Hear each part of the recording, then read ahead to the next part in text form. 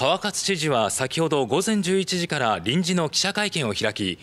先月19日に県内に発令した新型コロナウイルスの感染拡大緊急警報を継続すると発表しました。本件はこの東西を緊急事態宣言発出権に挟まれております。今後も感染拡大リスクが高いと考えられますので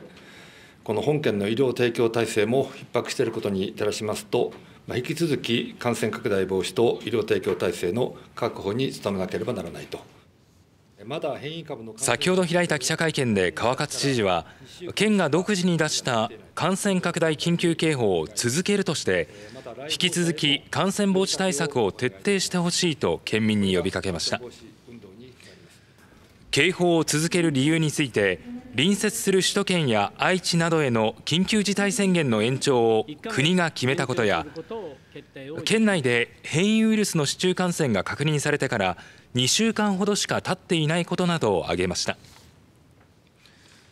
一方で県内における不要不急の外出自粛の要請を終了するとしました。変異株の関連情報がある程度蓄積されてまいりました。